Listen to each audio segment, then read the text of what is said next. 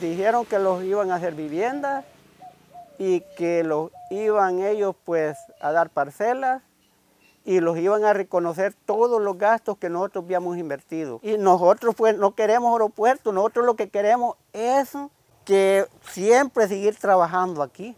Estos fueron los acuerdos a los que los habitantes de las comunidades El Condadillo y Flor de Mangle en la Unión llegaron con autoridades de la Comisión Ejecutiva Portuaria Autónoma para ceder sus tierras y que éstas fueran utilizadas para la construcción del aeropuerto del Pacífico. La segunda reunión que tuvimos en el Llano de los Patos fue que dijeron que los iban a dar el balúo. Ya cuando ellos terminaron la medición, porque aquí anduvieron pidiendo escritura, y dijeron que en poco tiempo íbamos a tener el resultado.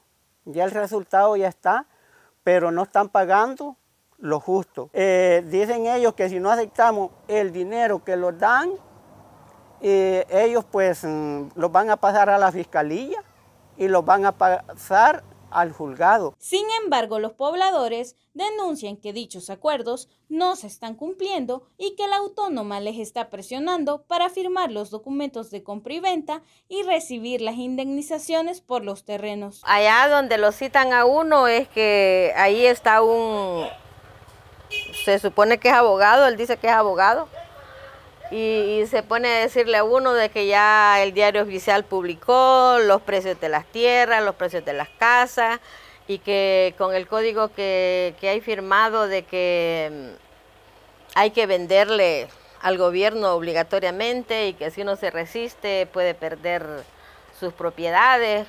Santos Eduviges Cruz, otro agricultor de la zona, comenta que el balúo que CEPA realizó a sus propiedades es mucho menor a la inversión que por años ha hecho en sus parcelas, en las que siembra maíz, maicillo y verduras.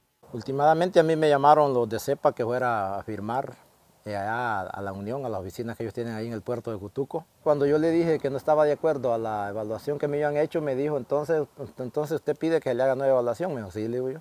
Y pues hay derecho pues que hagan nueva evaluación porque, porque no, no es justo lo que están evaluando mientras que Duviges ha decidido no firmar la compraventa de sus terrenos, asegura que otros sí han firmado, movidos por el miedo de perderlo todo.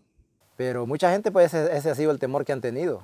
Mucha gente ha tenido ese temor de que, de que como ellos dicen así, ellos piensan de que pueden perder el caso y que pues, el juez puede decir, no, pues que le quede al gobierno.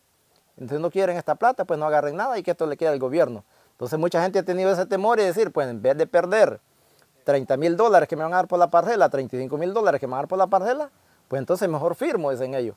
La construcción del aeropuerto en La Unión fue parte de las promesas de campaña del presidente de la República, Nayib Bukele, contenidas en el Plan Cuscatlán.